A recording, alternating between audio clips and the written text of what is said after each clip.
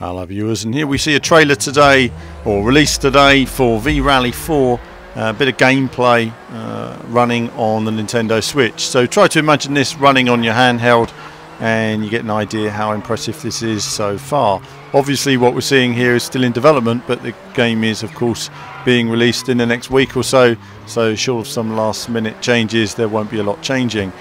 Game itself is looking very impressive. There are some shadow issues that I'm seeing here where something's in sunlight and just as you get there it goes out of sunlight. But either way, for the handheld, it's actually quite a lot more impressive than I was expecting. I think having seen the, uh, you know, the, the, the MXGP and MotoGP and the problems there were with those conversions, it seems that the console versions of V-Rally are remaining largely intact and we can see that in terms of the geometry, the environments and the detail everything looking really nice so far on that downhill run.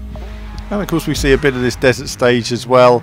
Stage I never liked in the actual console games. I, I never felt this looked as fluid and as smooth and uh, detailed as it should. But either way, it's been accurately converted to the Nintendo Switch here.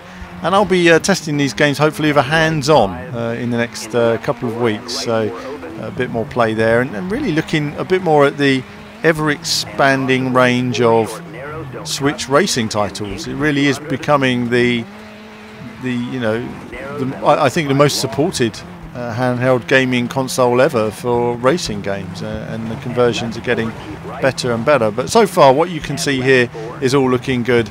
And that's it from me on this quick clip of Switch gameplay action. And there'll be more from me very soon.